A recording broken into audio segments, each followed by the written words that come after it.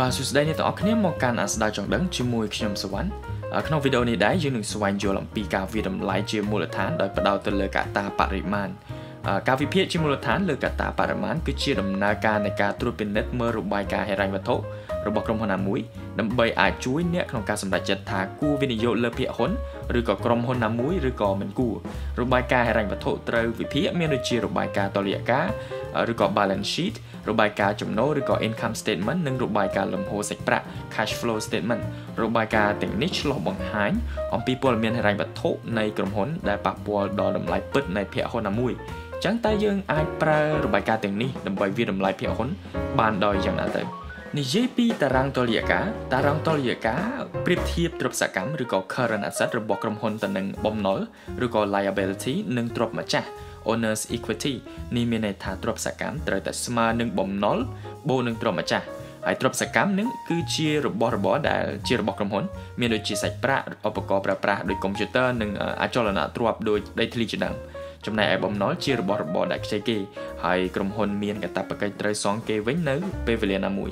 ឧទាហរណ៍ពេលក្រុមហ៊ុនទៅខ្ចីលុយធនាគារដើម្បីទិញកុំព្យូទ័រ10គ្រឿងប្រាក់កម្ចីនេះនឹងក្លាយទៅជាបំណុលហើយកុំព្យូទ័រ10គ្រឿងនឹងក្លាយទៅជាទ្រព្យសកម្មបាយផ្នែកចុងក្រោយនៃតារាងតលយៈការគឺទ្រព្យម្ចាស់ឬក៏មូលធនទុនជាណាមវាជាចំនួនទ្រព្យសម្បត្តិដែលបានប្រមូលមកពីការលក់ភាគហ៊ុននៅលើទីផ្សារមូលបត្រចឹងតារាងតលយៈការត្រូវមានលំនឹង នោះគឺទ្រព្យសកម្មត្រូវស្មើបំណុលបូកនឹងទ្រព្យម្ចាស់តារាងតុល្យការបង្ហាញអ្នកឲ្យឃើញអំពីរបៀបដែលក្រុមហ៊ុនប្រមូលទ្រព្យសកម្មហើយដឹងថាតើក្រុមហ៊ុនមួយនឹងបានចំណាយប្រាក់ច្រើនពេក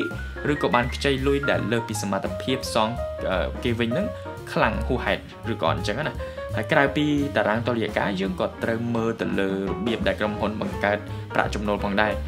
ព័ត៌មានទាំងនេះអាចរកឃើញនៅក្នុងរបាយការណ៍ចំណូលរបាយការណ៍ចំណូលបង្ហាញអ្នកពីប្រាក់ចំណូលនិងប្រាក់ចំណាយរបស់ក្រុមហ៊ុន ការចំណាយរបស់ក្រុមហ៊ុនរួមមាន ការចំណាយលើប្រតិបត្តិការនានា ការការប្រាក់ដែលបានបង់ទៅលើប្រាក់កម្ចីហើយនិងប្រាក់ពន្ធរបស់ក្រុមហ៊ុន បាទហើយសម្បីការប្រាក់ចំណូលគឺស្មើនឹងប្រាក់ចំណូលដកប្រាក់ចំណាយស្មើនឹងប្រាក់ចំណេញសមីការនេះត្រូវតែមានលំនឹងនៅពេលដែលបូកដកគ្នាទៅបាទហើយប្រាក់ចំណេញគឺត្រូវបានបែងចែកទៅជាពីរទី1ប្រាក់ដែលបានចំណេញមកពីការរកស៊ីត្រូវចែករំលែកជាភាគទៅភាគទៅនឹកឬក៏ម្ចាស់ភាគហ៊ុនដោយការបង់ភាគលាឬក៏ dividend ជាដើមបន្ទាប់មកប្រាក់ចំណេញនេះ នឹងត្រូវវិនិយោគទៅវិញ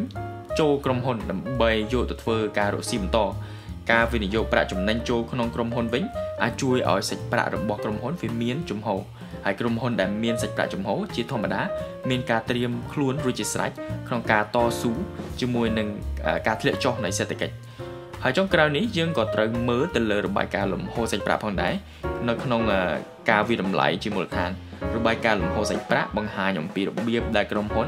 ប្រើសាច់ប្រាក់របស់ខ្លួនរួមមានការប្រតិបត្តិការអាជីវកម្មការវិនិយោគនិងចំនួនប្រាក់ដែលបានខ្ចីពីធនាគារឬក៏ពីម្ចាស់សញ្ញាប័ណ្ណបំណុលណាមួយបាទហើយចំហសាច់ប្រាក់របស់ក្រុមហ៊ុនគឺចំនួនសរុបនៃថ្លៃប្រតិបត្តិការអាជីវកម្មបូកនឹងការវិនិយោគនិងប្រាក់កម្ចីហើយរបាយការណ៍លំហូរសាច់ប្រាក់គឺសំខាន់មែនទែនពីព្រោះវាបង្ហាញយ៉ាងលម្អិតអំពីរបៀបដែលក្រុមហ៊ុនបង្កើតប្រាក់ចំណូល បាទហើយក្រោយពីបាននិយាយអំពីរបាយការណ៍ទាំង3នេះមក